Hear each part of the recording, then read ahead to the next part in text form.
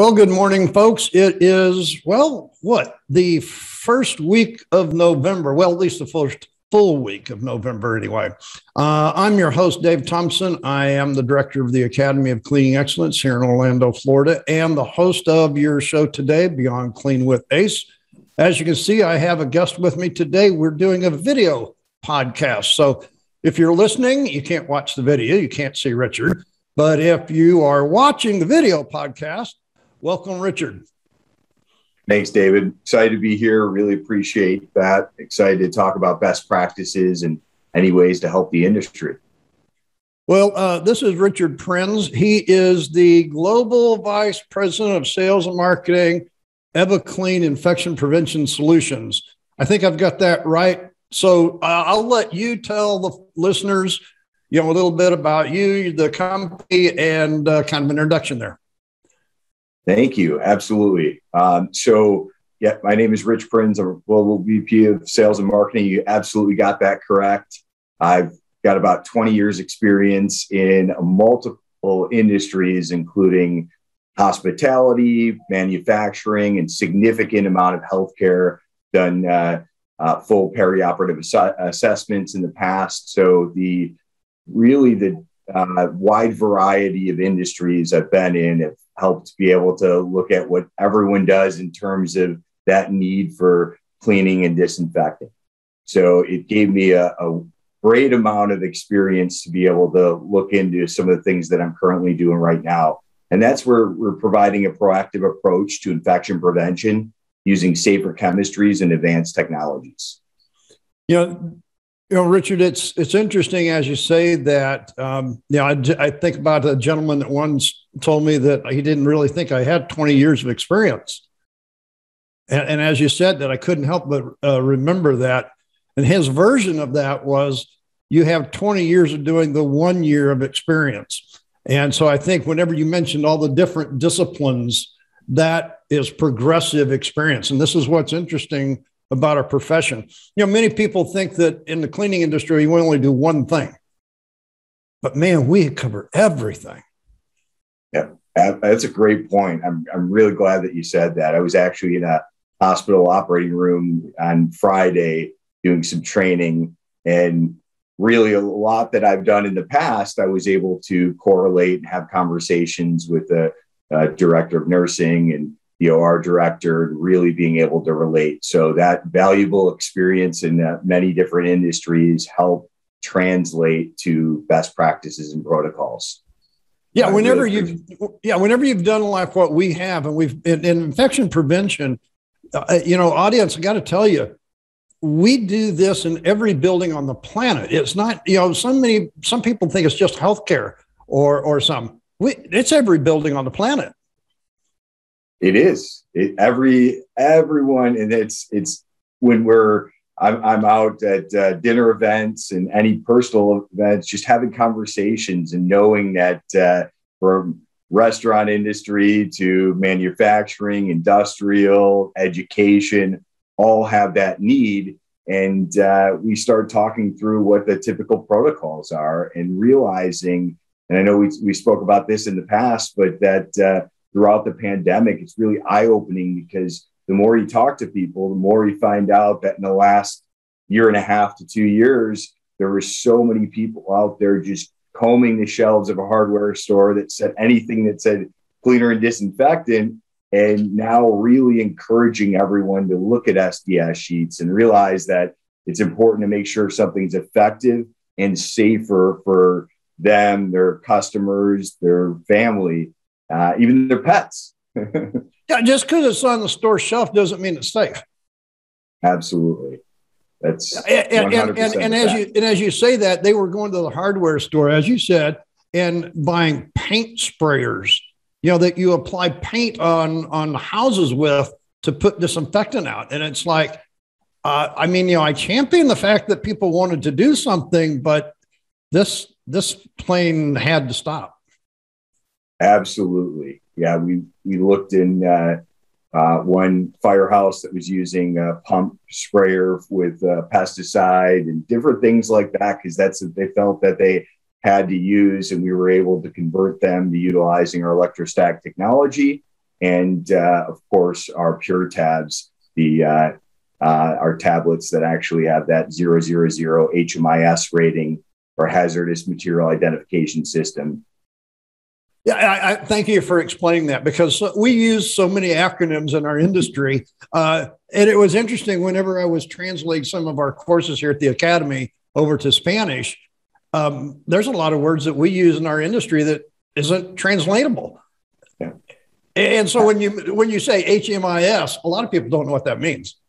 Yeah, absolutely. We always reference the diamond. If you're looking at an SDS sheet, you look at the diamond and you're hoping to see it's like a golf score. The lowest number is, is very important zero, zero, zero. Yeah, and that's you know, my color back here, the blue color, the blue diamond. That's the health rating, folks. That's the one you want to look for. Uh, you know, as you say this, I, I think of uh, a new course that we're having for our infection prevention here at the end of this month uh, for 2022, and you know, it's recertifying people that have already taken the course and giving them advanced knowledge for you know for the upcoming year because things do change. And i thought you know what? We need to really talk about the chemicals that the people use. And i always tell them in class just go home and take a look at the rings that the chemicals leave on the wood under your sink. Yeah. That's a good point. That is a really good point. Yeah those uh, and i live uh, in an area where there's uh, a lot of uh, um, we, we don't have the best water in my town. So uh, i see rings uh, from not only chemicals but also from just water uh, left on like yeah just in the sink itself and our system because it's a clean safer solution it actually takes care and eliminates those uh, as well which through our wipe system which is fantastic well, I think this is the thing is is that there's many products that we can use chemistry wise that now instead of leaving a residue in the tanks of the equipment, actually clean the tanks of the equipment. So, um, you know, my point to people is if it cleans the tanks out, what do you think it's doing to the surfaces that you're using it on? So it's a great point. I mean, I think that now I really like having these conversations because it's just eye opening and it really helps educate people across the board because uh, um, we not many and i know you've been in the industry and i've looked at uh, everything from your rockstar custodian uh, certification which is fantastic by the Thank way you. and uh, but you've seen the industry just the cleaning industry itself and you brought up a good point it's it's every industry but the cleaning section of, of every industry has evolved tremendously. And now you have everyone looking at things a little bit differently, which is important because, but at the same time, you're remiss not to say that you and I still go into restaurants and we see someone spraying and wiping right away, and you know what that that's not uh, following the uh, um, the master label. It's not following the SDS sheets and, and the uh, protocols. Uh, we that's why there's so many more convenient, but at the same time effective and safer options out there. Well, you know, Daryl Hicks that comes on the show quite regularly, an infection prevention expert uh, in the industry. You know, he talks about this all the time. Exactly that. His thing is, is whenever the pandemic started, you know, the the grocery store clerk was out there taking a spray bottle, spraying the hand handrail wiping it and then going to the next one using the same rag to just wipe the next one and the next one. He said he, he could have wiped 20 or 30 carts with the same dirty rag. And, mm-hmm. and, you know, one of my students brought this up. He said, you know, we've got millions now of infection prevention experts. They watch Dr. Fauci on TV and they're an expert now. do, do, you, do you find you're still yep, fighting that's, this? That's what it takes. Uh, I'm sorry. What was that, David? I, I was laughing at your joke. That's that's okay. Well, it wasn't a joke. It was. I mean, you know, the, the student was absolutely serious, and I thought about it, and I thought at first I'm like you. I kind of took it as a funny joke, but then I think about it, and I think, you know what? People that I communicate with and live with outside of our profession, this is what they think, and they got so many different, varied uh, uh, pathways last year from both the you know our TV and and the CDC, and it's a struggle sometimes for us to help them navigate it professionally. Yeah, I think that's a it's a really good point because there's always the um, it, it's the same with the my way or your way or anything like that. But the, the reason why we really like what we do on a daily basis, and my team takes pride in it. We do we look at the facts, look at SDS sheets, and we do a true comparison of everything out there. We have nothing against any of the products itself, but we look at different types of what's safer for you and what's uh, what's the overall more effective and everything from factor everything from I mentioned the HMIS, but also pH if it's neutral pH, and because uh, if it's obviously more acidic, to be more corrosive to the surfaces, especially stainless steel. But then we also look at dwell time. I mean, are you going to be in a position to um, factor in the climate if the uh, chemical you're using has a 10 minute dwell time? Um, or if you're using something that uh, the Joint Commission or CDC recommends in that four minutes or, or I guess five minutes or less, um, really being able to stay wet during that time. And that's why having a good one two punch of cleaning and disinfecting is imperative. And you mentioned or touched on the electrostatic technology or the fact that uh, uh, there is something out there in addition to or I guess you reference the paint sprayers versus what we have is true electrostatic technology. And that mitigates any cross contamination. So you're really, there, there's being able to look, if you're utilizing this technology, look to something that was truly uh, made to be an electrostatic sprayer. There's a few of them out there. You know, Dr. Greg down in Australia, that's on our show quite often, you know, brought up a point when we were talking through this uh, application device uh, scenario. And he was talking about biofilms that are left in the bottles, you know, from trigger sprayers and other devices. Uh, and, and he brought up a good point that, you know, if the container isn't rinsed after every use before it's refilled, it builds up a biofilm in the bottle. And Now you're spraying a biofilm out of it when it was supposed to be what was doing the work for you.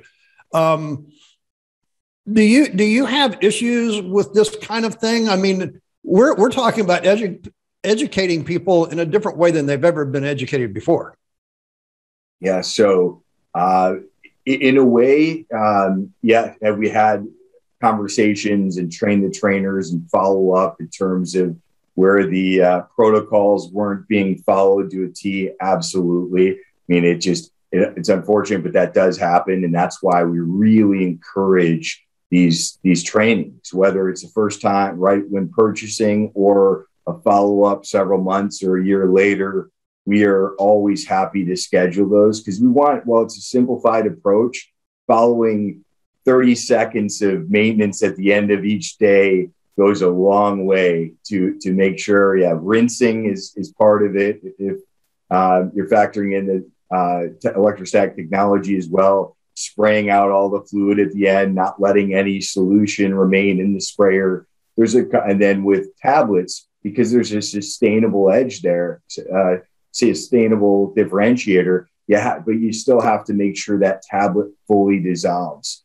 One for the right efficacy, but also to make sure that you're not gonna you're gonna mitigate any clogging and uh, really maintain the life of that sprayer.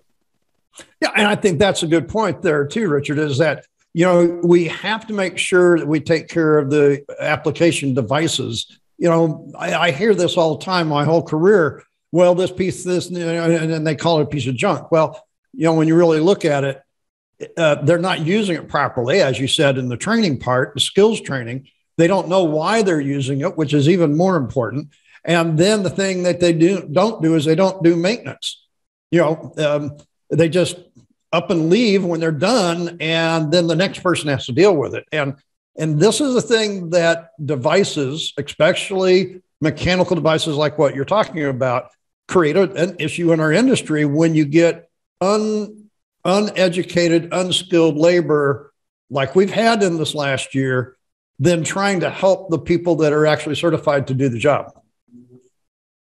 Yeah, it, one thing that you said that really resonates is that uh, those don't know why they're using that technology, and it it's very evident. I was at a uh, my team and I were at a um, a building uh, show or conference a few weeks ago here in Boston, and many team members say, or many customers came up said, "Oh, we use that. We use that exact one," and didn't know really. We, we showed them the uh, spraying with my cell phone. You spray the front with the electrostatics off. You spray it, and you just get the front. You spray it with electrostatics on. You get the front and back.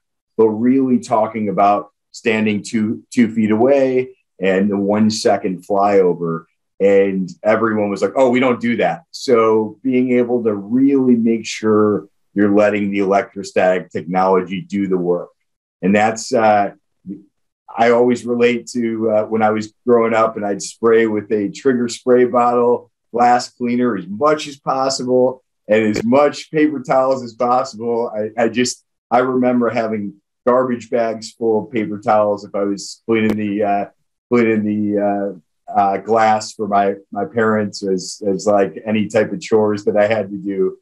But really, it's less is more with this technology in the right system. It's really that one second flyover. You're going to have that right amount of even coverage. Well, and and folks, as you're watching or listening today, want to explain. I, I have to do this, Richard. It's just part of what I do here. Uh, there is a proper way to apply these chemist this chemistry. And by the way, we're not talking about just disinfectant. I appreciate what you said clean and disinfect, two different chemicals, or could be the same chemical, two steps. But physical removal using whatever it is first. And, you know, the thing is, when you apply it on there, folks, you don't apply it from the top and let it run down. And you were talking about over application, and this is what we got a lot of, and probably still do because they're over applying the chemistry. But even that, no matter what, you always apply from the bottom up and clean from the top down. Hmm. And it goes back to what you said, Richard. As much as we'll train people, as much as we give them all the knowledge, we go back to our old habits. And so whenever we get back to that application, we just kind of, and this is what you see in videos and stuff and this is what you and i fight all the time is try to do it in a proper method from the bottom up and that way you don't get the runs on the if you're getting runs with an electrostatic sprayer you're over applying correct yeah absolutely and we do that demonstration did one in a hospital a couple weeks ago where he showed every team member and then i went and got within maybe six to eight inches and I sprayed and then you'd see it run down. I said, you never want to see that. uh, and then obviously being able to spray it on a, a, table in a wheelchair to be able to do the top, uh, uh, top and bottom in like a conference room.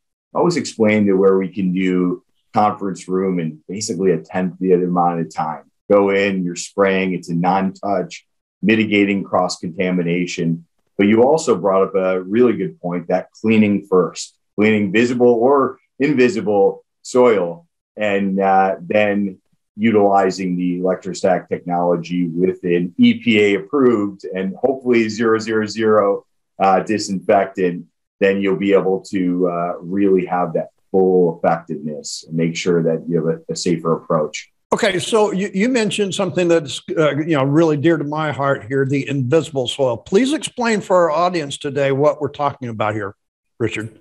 Yeah, so um, really, when it comes to soil, I mean, the, the obvious is something that you can see, and I'm gonna I'm gonna kind of go into a little bit of in the past we used to uh, see a lot of people were cleaning for i mean there's two reasons to clean in my, my, viewpoint it's for appearance or for health and appearance is really that visible soil, anything that you can see, or and really picking up the papers, different things like that. And I think from just an overall business setting, appearance is important, but health is even more important. And that's where the invisible soil, because you're remove, removing visible and invisible soil, debris, microorganisms. I mean, you, you can't necessarily see microorganisms because I mean they're called microorganisms for a reason, right? Yeah, that, yeah that, because they're too small for my eye. I can't. And and, exactly. and my point is, is the the microbes that we're after, I can't see. So the food that they live on, I can't see. So to say remove visible soil, okay, and this, I think, where a lot of these people over the last uh, 24 months, especially, they missed that fact. They thought that the only thing they had to do was spray disinfectant and wipe it off. And that's where a lot of people went wrong. Correct. That's what we're seeing too. And that's why uh, your training guides are phenomenal to be able to really make sure that everyone is mindful. And I guess not only mindful, but being now being more proactive than in the past reactive. And we take the same approach. That's why I really glad to be on this show to be able to talk and relate to some of the great things that you and your team do, as well as like, likewise that we're trying to promote from that proactive approach. So, folks, uh, we're talking today with Richard Prinz. He is with uh, EvaClean. Uh, we are sponsored by Gem Supply here in Central Florida. We appreciate their sponsorship to give us the time and the ability to do this podcast for you. We try to make sure that everything we talk about is healthy, positive, and proactive. I think you've already heard most of those words already. Uh, Richard, whenever you look at all of this, uh, I get into some discussions some, with some people, and I know you mentioned the HMIS being triple zero, but not everybody uses that chemistry. And, and I agree, we would like for them to, but some cases that's not available.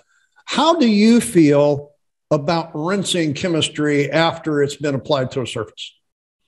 So, from a um, from a cleaner perspective, I, I always recommend following the uh, uh, following the, the protocols and following the IFUs. If you have a uh, think rinsing in certain cases is really important. I mean, if, if you factor in, let's say, our PurTabs, which we have, we're NSF, National San- Sanitizing Foundation certified for a non rinse, especially when it comes to that food contact with that sanitizing or 100 parts per million.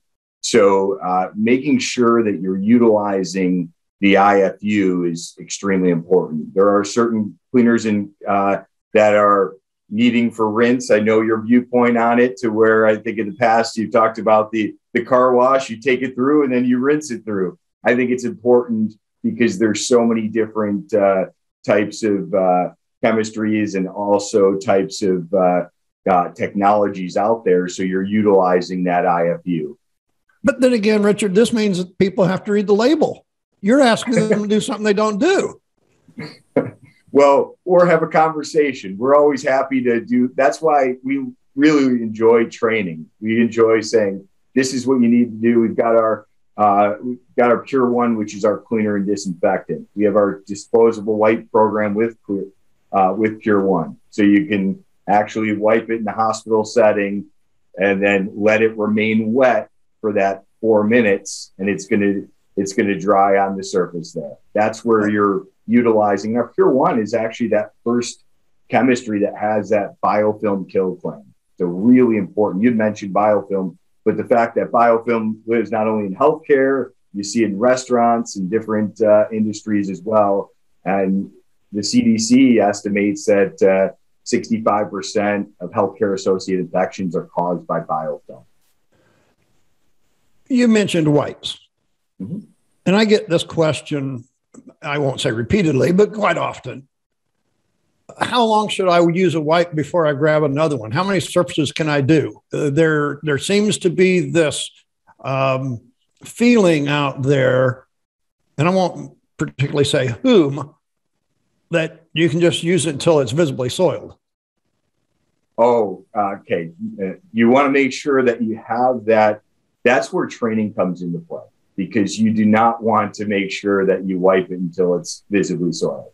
You want to make sure if you take our disposable wipe, you'll see the you, you, you'll see the visible wetness, and that's what you need to do. You need to see the visible wetness, and you're going to wipe it like this. It, it's funny because I do two trainings. One that is a fan of the Karate Kid when it comes to the electrostatic technology. I say when you're in an open hallway, you can do the paint the fence um, but when you do, when you're doing our white program, you cannot do the wax on, wax off. You can do side to side, and you want to make sure that you're going to see that uh, wetness. And then you grab the next one. So we do an actual very in depth training when it comes to especially healthcare and higher ed the reason why we chose those specific industries for a pure excellence program is because they have environmental services teams and we want to make sure everyone is trained the approximate number of how many wipes per room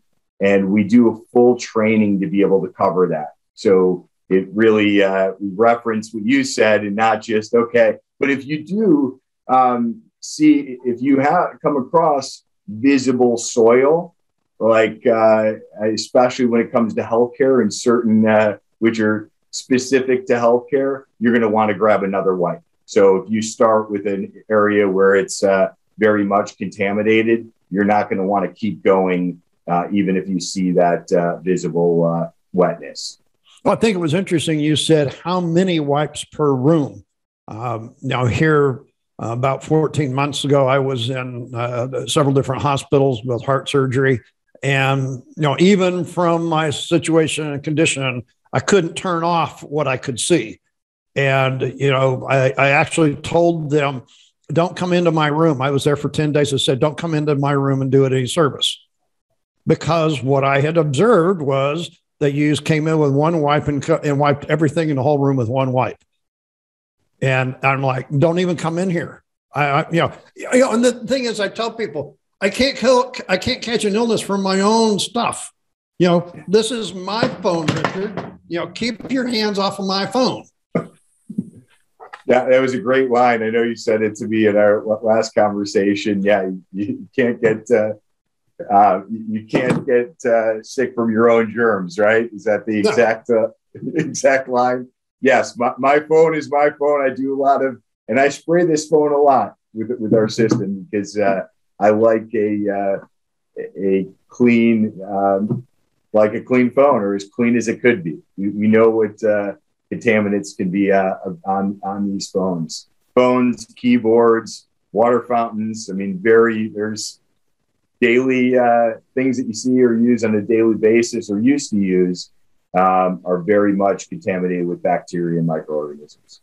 Yeah, and, and and so you know that goes back to you know what we both uh, really champion a lot is education, and then skills training after that. Uh, devices and chemistry are important to what we do; they're a necessity. Um, but I always have. I've, I've always laid that there's more importance to knowing why I'm doing it so that I use those tools and, and devices correctly. I couldn't agree with you more. I mean, really knowing why you're using the technology, the safer solution, what uh, um, what the proper dwell times is, are, and as well as the pathogens that you're looking to. I mean, we mentioned healthcare, but it's important to that know that uh, both of us actually have protocols and training in every industry that we speak with. And we customize that because we know that uh, in, uh, let, us say, the health and fitness has a little bit uh, different in terms of versus the cruise industries and, and norovirus. And while COVID 19 is, it, it's everywhere, as we know, but there are also specific uh, pathogens that you find more so in, let's say, healthcare, like Candida or C. diff, and really making sure you have a sporicidal and a proactive approach. Well, yeah, and you mentioned you have to have different levels of um, disinfectants depending on the environments that you're in. Daryl Hicks calls it fit purpose. What's the purpose of the environment that you're working in? And is the protocol fit for the purpose that that area is being used for?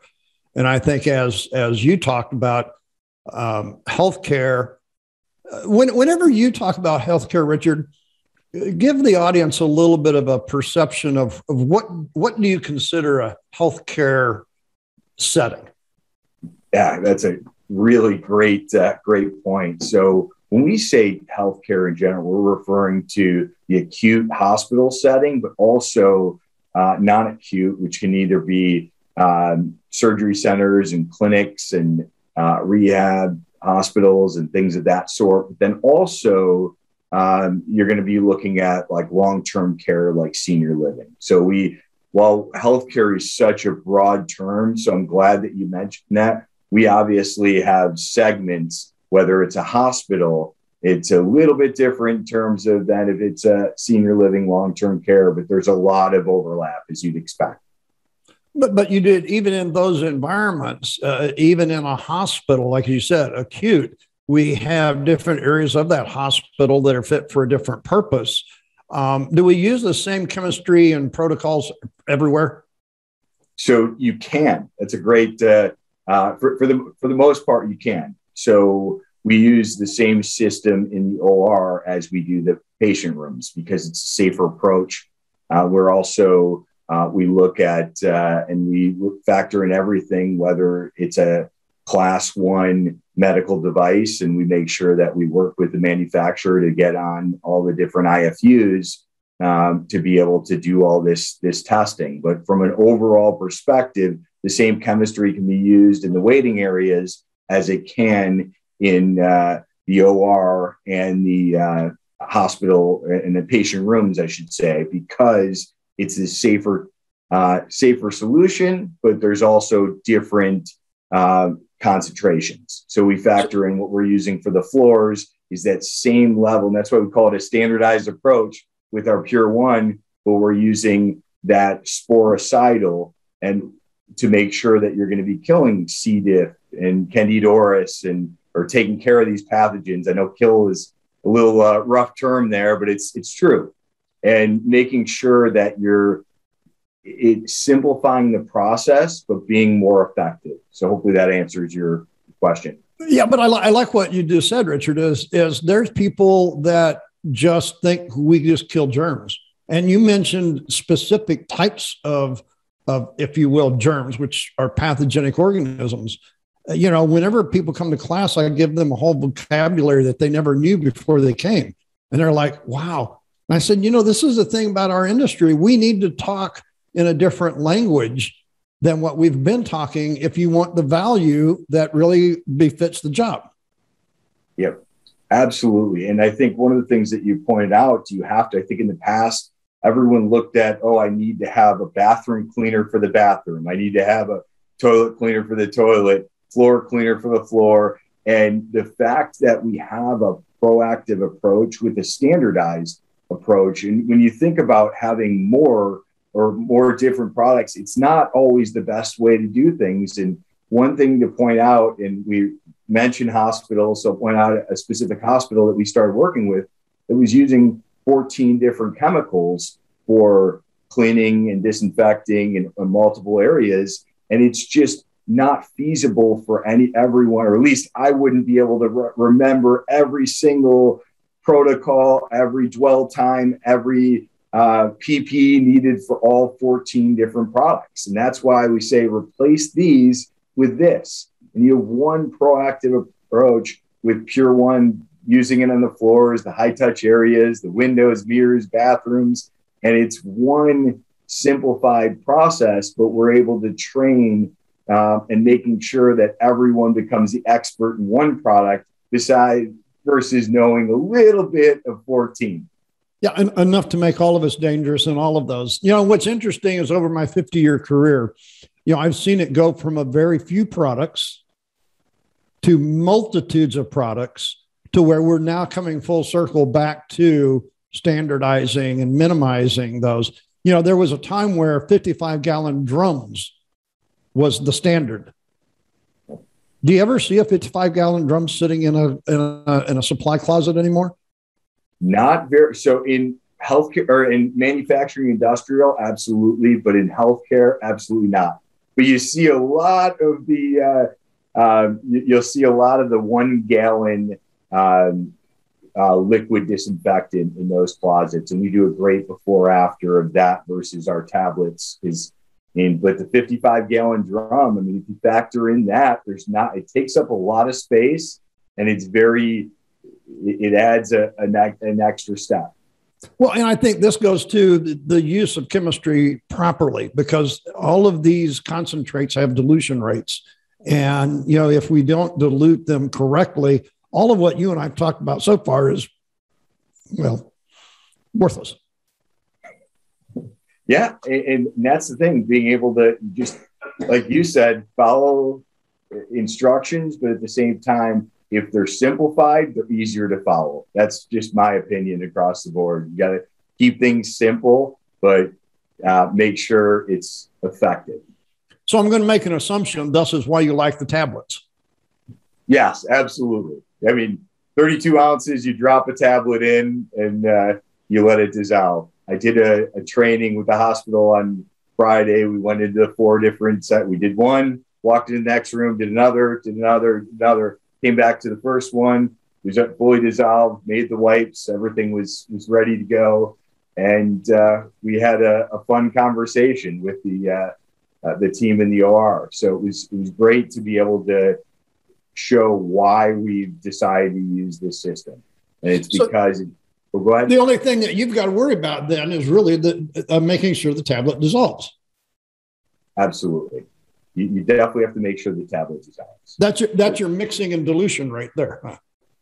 Yeah, but it mitigates human error if you drop in the tablet. You're not you're not doing the. I you reference the car wash. I, I reference the car wash when it comes to liquid concentrate because if it tells me to put a, uh, a half an ounce versus a gallon of water, I'm putting like five or six ounces at least of that uh, of that car wash solution. That's how I've always done it. But now uh, it mitigates the tablet mitigates error for a guy like me to be able to, or a person like me to be able to um, add in whatever they want. It really no. mitigates that error you know, Richard, I've never seen a custodian ever put back the concentrate that he overused.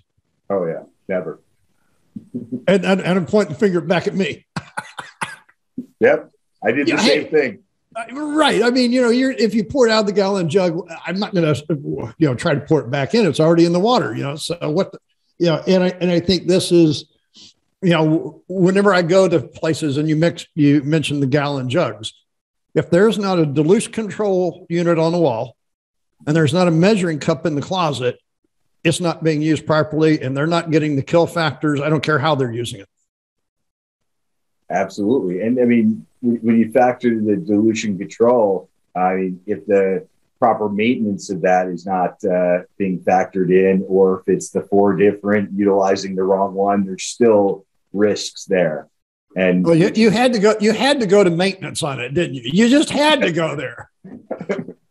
That's probably the third or fourth time I've said maintenance today this morning. So, well, but but this is Richard. We're in the maintenance industry. This is what we do. But yet, when it comes to all of the equipment, we don't maintain, and this is where we catch problems or issues in the whole scenario. And I think this is the conversation that you and I are having this morning. Uh, and I champion the fact that we're having these conversations. You know, we're in our fifth year of this podcast, and I have struggled to get people like yourself or anybody to come on the air and talk. It's been like, but in the last year and a half, it's like, okay, I got three podcasts today to do. And that's a wonderful thing because now people are wanting to talk about all of this stuff. And I think more people are becoming educated in the proper way because of folks like you and I. Absolutely. I couldn't agree more. And it becomes this, and it carries over into the everyday life, not just in, in this type of set, setting. I know when you're out and about, you have conversations on a daily basis, more so than you probably ever did. Oh, yeah, absolutely. Because it, it, it's now, I won't say as much front of mind, top of mind as it has been over the last year, but it's still there. Um, you can just simply, I'm, uh, you know, well, you know, of course, right now it's, are you vaccinated? You know, uh, do you have a mask? And then it becomes now the, the, the disinfection and cleaning, where before it was the cleaning and disinfection, the mask, and then we were waiting for the vaccination. It's flipped a little bit, but it's all, all three are still there. And I always tell people, you know, the vaccine is not 100%. The mask is not 100%. Cleaning and disinfection is not 100%. These are all protocols to help us mitigate. And you've used that word several times too. Absolutely. And really, if you factor in a combination of the protocols to, yeah, mitigate the risk, because that's what we're doing. The, the risk of, of illness, the risk of spreading And, uh, and I know we've talked about COVID 19, but then we've referenced earlier that there's so many other different types of risks for other pathogens and illness out there on a daily basis. I mean, we think last year the, the flu virus, which every year the, the numbers of the flu are astronomical. And last year, with all these measures taking place to uh, be focused on COVID 19, the flu season was virtually non existent. It's obviously um, been, uh, I guess, everyone's saying it's going to be back in full force, which uh, we're starting to see now. But um, that's one of the things that if you really have the right measures in place, you can pre- prevent any type of other uh, pathogens and illness. Well, Daryl Hixie is going to be on this afternoon with his podcast. You know, his thing that he's talking about in our new course is twin dam, twindemic, COVID and flu. And I think uh, we're going to get some better numbers this year as relative to what the actual issues really are. Um, last year, I think all of our numbers were a little bit skewed. I think we'll get better numbers, but um, unfortunately, I think we're seeing people that are worried about getting COVID vaccination and aren't getting flu vaccination. And then they're thinking that because they're vaccinated, they can back off of the protocols of cleaning and disinfection and I think this is what Daryl was mentioning, and maybe you are as well, that this is what we're going to be fighting through May of next year. Absolutely. Yeah, I definitely alluding to that uh, same thing, and I'll, I'll tune in to Daryl's. I'm very intrigued to listen to that as well. So it's a it's a great topic because we always do that. We focus on uh, on that one one type of thing and, and not realize there's a lot of other things going on. And I was speaking with a um, very high level, one of the uh, major school districts. And when I referenced norovirus, she talked about what was occurring uh, in 2019, that they had a huge outbreak of uh, norovirus. And the fact that uh, uh, we have a, a program that obviously um, has a claim against norovirus is extremely important because um, that's a it's one of those path. It's one of those things to where within it's you're contagious before you get any symptoms, and it's uh, very much spreads like wildfire.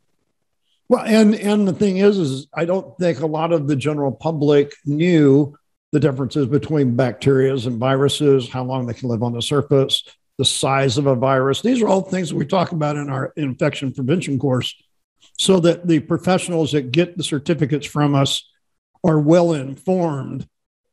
you know, I always tell people my certificate that we give you after you have passed your exam is not proof of performance, it's proof of concept.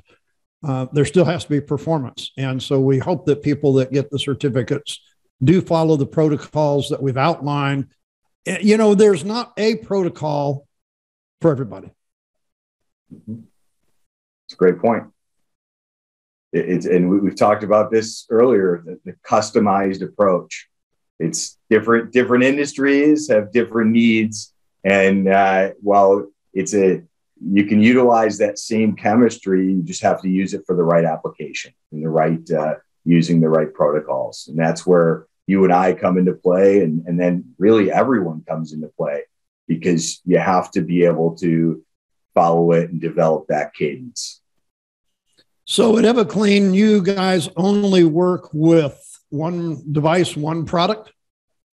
So we have, um, it's really our system itself, which is that two step, step one, step two. I always, we always say it's a simplified approach. Can't really get much more simple, simple than step one and step two.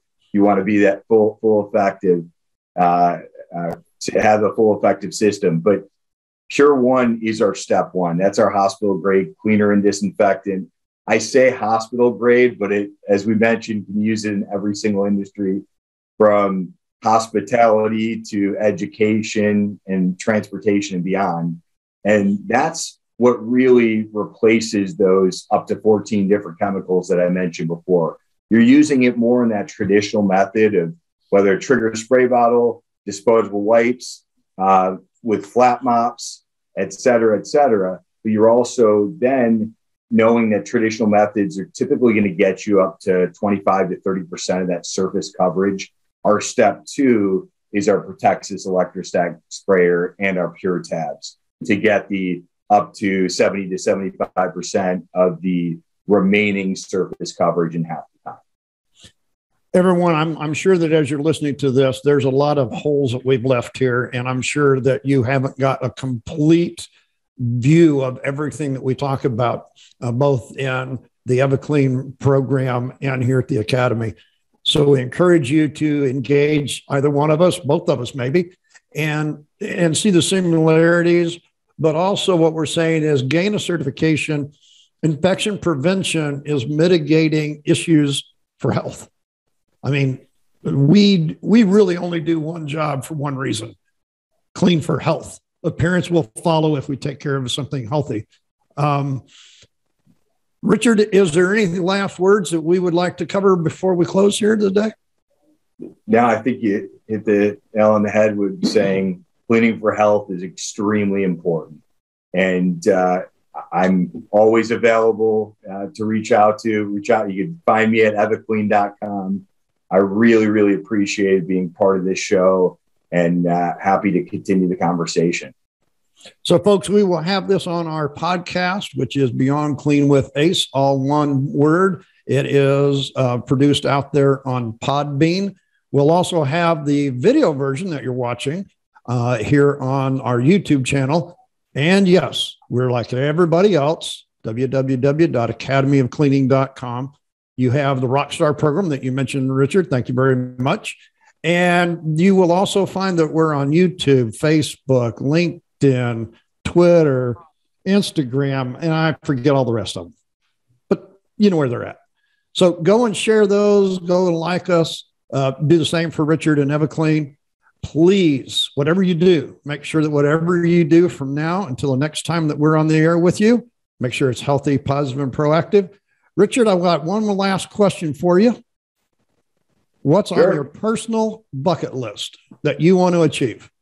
My personal bucket list is uh, to travel more, travel more with my family, with my, my wife and, and two wonderful daughters. Uh, we've we've been to Europe several times as a family, and we'd like to uh, eventually go to uh, Australia as a family at one point in time. We've got some friends who recently moved out there, and we'd like to eventually move them, visit them out in Australia. Okay, so you almost said move to Australia, didn't you? Not yet, anyway, right? I, I heard visit, that. I heard visit. that. I, I, was about ready to ask you if you told the wife and kids you were moving to Australia. Yep, not not at this point in time, but uh, definitely want to visit first. Okay, so we're going to have to get you hooked up with Dr. Greg Whiteley. He is uh, he comes on the podcast quite often. He's a, a chemistry guy down there, runs a, a, a big program uh, maybe just go back and look at our podcast, Dr. Greg Whiteley. Uh, he's Australian. So uh, maybe give you a good point. I'm, I'm, sure that he can actually show you around the, the country down there. That, that would be great. That would be amazing. And y'all can talk shop a little bit too. And I'm going to throw back on you. What's on your personal bucket list, David? Now, you what? I, as many times as I've asked that question, Nobody's ever done that. I've been waiting for somebody to actually do. It. I'm not going to say. I mean, you know, it's just. But but you're. Hey, that one's a good one. Yeah. Uh, you know, I have one that's immediate, uh, really, right now. I, I've never been able to get into a hot air balloon, and actually, last year I had it planned, but I just couldn't see going up there, spending my money and the time, and be re- regulated to have to wear a mask in the balloon uh, up there. So, I, I, folks, I haven't done it simply because, you know what? I want to wait until I can go up there and enjoy it without having to breathe through a mask. I have COPD, and it's difficult at best uh, to do that through there. Traveling on a plane for a long period of time is just really a problem. But uh, that's on my immediate bucket list. Um, my long term one is just do what I keep doing. I moved to Florida. I de stressed. Uh, I live in an RV park. I'm in Florida. I mean, and I love the job I do. So I don't know what else, you know, what I can do. I'm like you. Almost everybody I ask that want to travel. Yeah, no, that's great. It's a it's a great point, and uh, glad to glad to hear you're loving what you do, and that's that's extremely important. I will end with the I did not know you needed to have a mask on a hot air balloon because maybe it's because I have no desire to be way up there, but uh, uh, I did not know that. So you learn something every day. well, and that's what I didn't. I, you know, it was the furthest thing from my mind when I set it up. I was about ready to pay, but I thought, you know, I'll call these folks and everything. They said, yeah, we're we're you know we're in the aviation, and just like in an airplane, you have to have one. So if you're in the gondola, you have to wear one. And I said, if there's only four of us, and I know everybody except for you, he said, we still have to do it. And I appreciate that. I didn't argue with them. I mean, that's the rules, it's the regulations, uh, my choice to go or not. And I'm just waiting. So, uh, folks, I got to tell you, whenever I can go without a mask covering my nose and mouth, I'm going to go in a hot air balloon. I'm in Florida. I want to go see it up there. Uh, I watch them all the time, you know, in the early mornings. And it's like, I just ain't got there yet, but I will. I will. Just like I'm sure you're going to take the wife and family to Australia too. Yes. And uh, uh, but yes, been on a lot of planes recently with with the mask and getting used to it. I have another one next week, so uh, uh, that I'm getting used to wearing the mask for longer periods of time. But uh, yeah, I've got just, I've got a conf- I've got a conference this week I got to go to, and that was that's the rule. You have to wear one inside mm-hmm. the conference center the whole time, and and uh, I will endure it as long as I possibly can. But it, it's it's the part of life that we do and and you and i understand these things we understand the protocols as we've talked today uh, we don't fight those um, but I, I do hope at some point we can lose the mandates for masks and and and and all of that. Uh, you know daryl and i talk about it constantly. Covid's not going to go away. It's going to be here forever. Will this will ebb and flow and the next pandemic will take its place. And this is what we're all trying to do right now is be better prepared for the next one so we don't have this mass hysteria that we had over the last 18 months. It's a great point really really so, great point. uh, richard thanks for coming on the show. Uh, you're welcome back anytime. Just uh, let me know when you want to come on. We'll have this out there uh, probably in the next few days so you can share it and like it out there folks. Please uh, join us next time. Thanks richard. Thank you. Thanks for having me.